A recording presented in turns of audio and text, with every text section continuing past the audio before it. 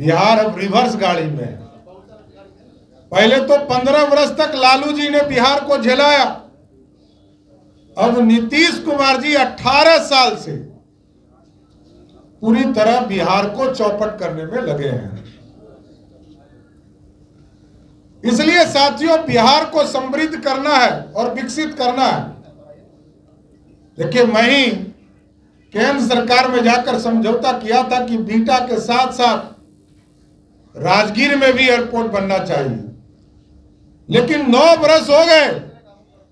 राजगीर में greenfield airport बनना था। उसके लिए नौ बरस से ज़मीन खोजा जा रहा है ज़मीन नहीं ज़मीन नहीं मिल रहा। कम मिलेगा। नीतीश बाबू 18 साल हो गए। आज यदि सबसे बड़ा फोर लेन का सड़क बख्तियारपुर से रजौली कोई बना रहा है तो वो देश के यशस्वी प्रधानमंत्री नरेंद्र मोदी जी बना रहे हैं। इसलिए साथियों, बिहार अब भटक चुका है, क्योंकि नीतीश कुमार जैसा नेतृत्व है। नीतीश मुक्त बिहार बनाना है, और इसमें नालंदा का सबसे बड़ा योगदान क्योंकि वो कहते हैं, वो कहते हैं कि नालंदा जो हम कहेंगे वही करेगा। लेकिन नालंदा के लोगों की भावना कौन देखेगा? वहाँ की जनता की आवाज़ कौन सुनेगा? तो आज प्रफुल्ल पटेल जी, सरवन जी, कई साथी यहाँ जुड़े हैं। हम आपको पूरी तरह स्वस्थ करते हैं कि नालंदा पूरी तरह नीतीश मुक्त भी करना है और नीतीश के लोगों से भी मुक्त नालंदा करना है। एक ही व्यक्ति 20 साल से पूरे नालंदा की स्थिति को खराब किए हुए हैं। और आप देख रहे हैं, नीतीश जी को पाँच बार मुख्यमंत्री भारतीय जनता पार्टी ने बनाया साथियों। एक बार नहीं, पाँच बार। भाजपा चाहती तो स्वयं भी 2000 2000 में मुख्यमंत्री बन सकता था भाजपा का। लेकिन नीतीश जी को बढ़ाया। उसके पहले लालू प्रसाद जी को बिहार का मुख्यमंत्री भाजपा ने बनाया। और सरदे कर्पूरी ठाकुर जी को भी दो बार मुख्यमंत्री भाजपा ने बनाने का काम किया। हम सबका साथ, सबका विकास की चर्चा करते हैं। सिर्फ़ अपनी विचारधारा की बात नहीं करते। देश में सरदे अटल बिहारी वाजपेयी की सरकार बनी तो कॉमन मिनिमम प्रोग्राम भी लाए गए और देश में सबके विकास की चिंता की गई। लेकिन साथियों, इन लोगों को क्या है? लालू जी ने पंद्रह साल आरक्षण दिया नहीं, लेकिन रोज चिकर चिकर के कहते हैं कि मैं जब तक हूँ, आरक्षण खत्म नहीं हो सकता। अरे आप दिए कहाँ थे? पहले उन्होंने आरक्षण का फ़ायदा अपने लिया, फिर अपनी पत्नी को आरक्षण दिया। और आरक्षण किसको दिया? पहले अपने एक बेटा को दिया, फिर एक बेटी को दिया, फिर दूसरे बेटा को दिया। और अब तीसरी बेटी चौथे बेटे परिवार के सदस्य एक दूसरी बेटी को देने की तैयारी है, साथियों। तो यही आरक्षण का, लालू जी का मॉडल और नीतीश जी का भी स्वरूप समझ लीजिए। ईबीसी आयोग का गठन हुआ। आज तक रिपोर्ट जारी नहीं हुआ। यहाँ कई पत्रकार साथी हैं। कोई रिपोर्ट जारी नहीं हुआ। अति पिछड़ों की बात नीतीश कुमार जी करते हैं।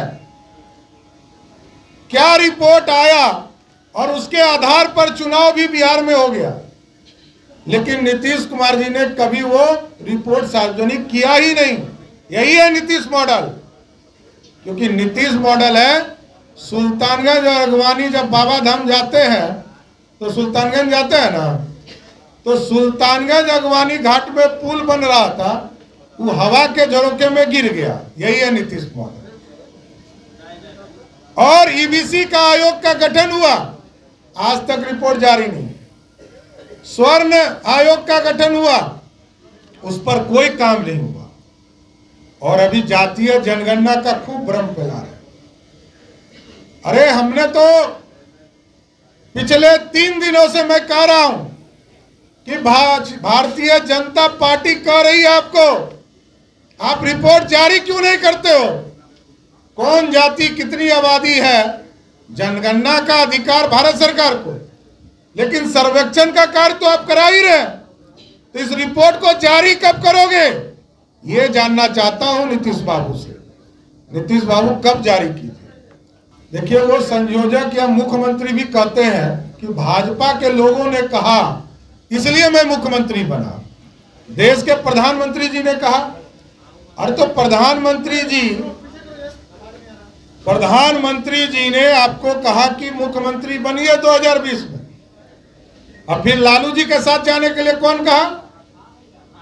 बिहार की कोई जनता कही क्या? नहीं कही। नीतीश बाबू ऐसे कैरेक्टर के पॉलिटिशियन है, जो कह दे कि नहीं करते हैं, वो पक्का करते हैं। वो मुख्यमंत्री बनना ही चाहते थे। और आज उनका सपना है कि प्रधानमंत्री बने। और नीतीश जी यदि नहीं बनना चाहते हैं तो हम तो उनके छोटे हैं। हम कल्याण बीघा में वो कुटिया बना के उनको देते हैं। कब शिफ्ट करेंगे हमको तारीख बतावे तारीख बताइए। नीतीश बाबू, यदि आप कुछ नहीं बनना चाहते हैं तो हम लोग सभी लोग मिलकर आपके लिए कल्याण बीघा में कुटिया बनाएँगे। आप चलकर उसमें विश्राम कीजिए। एक सवाल और है कि आपने एक बयान दिया था झाड़ी को लेकर उस पर अनलीगल कहा है मुख्यमंत्री देखिए समझ का दोष है।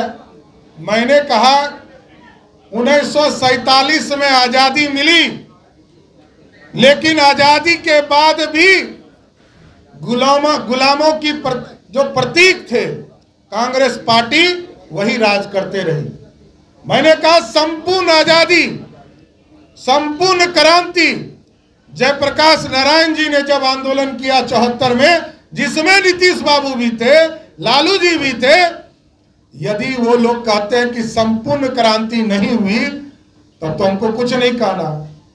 वही लोग लड़ रहे थे। मैंने तो कहा, जयप्रकाश नारायण जी ने जो आंदोलन शुरू किया, उससे गरीब का बेटा, दलित का बेटा, शोषित का बेटा, और जो राजशाही था उसको खत्म करते हुए गरीबों का बेटा सत्ता तक पहुँचने लगा। यही संपूर्ण आज़ादी है। गरीबों के लिए आज़ादी है यह हमने कहा।